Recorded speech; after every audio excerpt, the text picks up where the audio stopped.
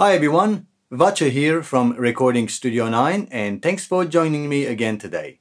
In part 6 on series of videos about Behringer's Xenyx UFX 1604 16 channel mixer audio interface, we're going to look at the special audio routing available for the output of our two FX modules available on our mixer.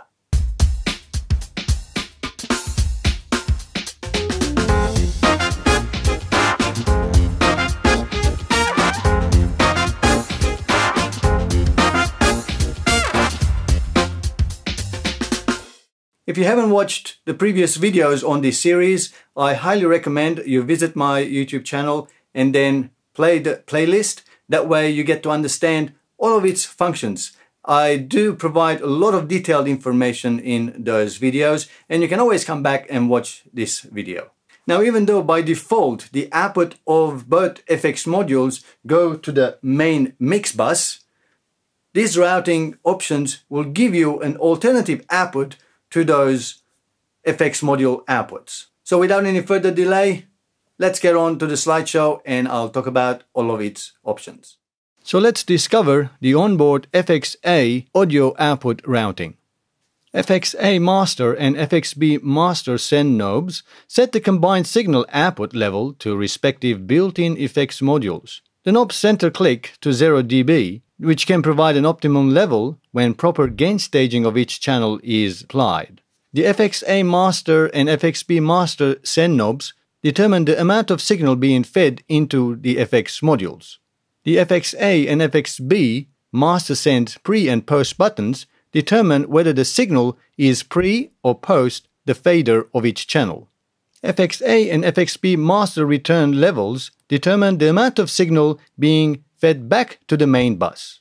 If using external FX modules, FXA and FXB, the main FXA and FXB master return knobs also control the amount of signal coming back from the external hardware FX modules. The FXA and FXB master returns have five special audio routing options, which are the topic of today's video.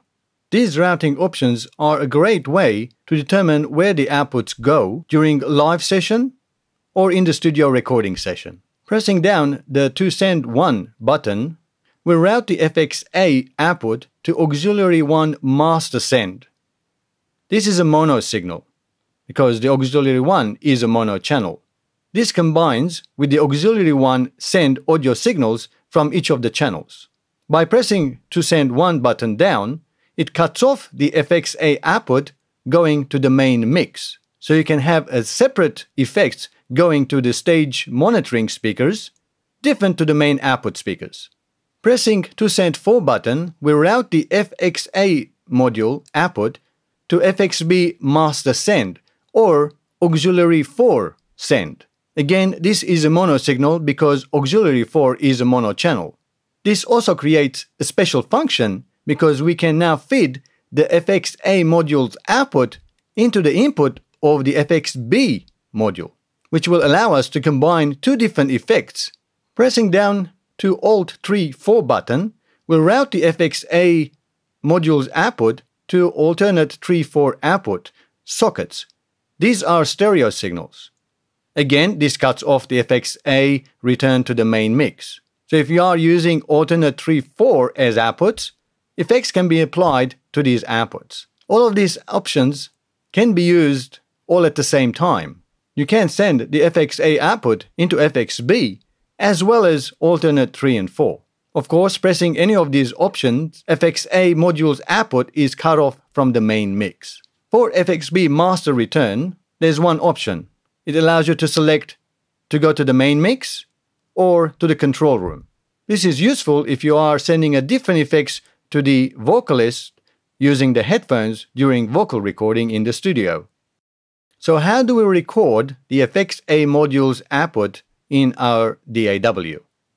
Well, here's a simple workaround.